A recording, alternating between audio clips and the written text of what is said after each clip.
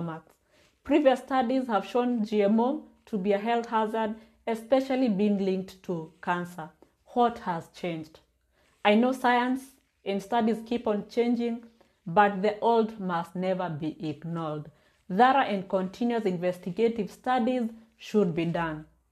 Why the hurry? Are GM foods the only solution to our current situation? As the government is looking for long term interventions to curb hunger and starvation, it is also important to focus on long term effects of GMO foods. Why should we fill our stomachs today? Then, in 10 years' time, we start dealing with massive cases of cancer and other diseases. Our health sector has already has enough to deal with. Why add the effects of GMO foods to the list? Let's prevent where we can, and we already have a thousand ways to die. Why add GMO foods to the list?